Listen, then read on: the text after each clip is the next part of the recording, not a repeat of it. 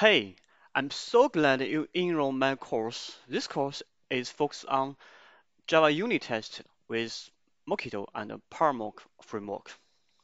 At first, I would like to introduce myself briefly. My name is Alex. I have more than 14 years software development experience, including enterprise software applications, big data, cloud computing, and financial industry solution architecture designing. I'm also a best-selling book author. So far, I'm already published three books on Java concurrency program, continuous integration, and uh, continuous delivery. As you can see, this is the online bookstore uh, sells my published books. Okay, let's let's briefly uh, introduce this course agenda.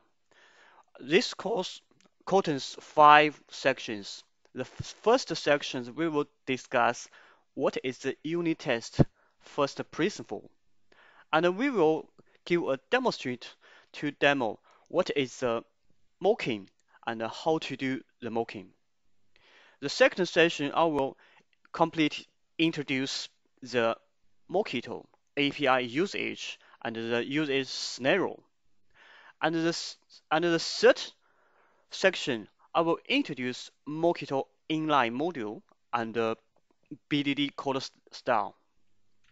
Of course, we will contain the PowerMock completed tutorial. Contains all of the Mockito usage details. And also, I will pro provide the, a very useful and helpful Maven plugin named JaCoCo, used for unit test coverage and help us to generate the unit test coverage report. Of course, you can download the PowerPoint and the source code feel free. Okay, see you next lecture.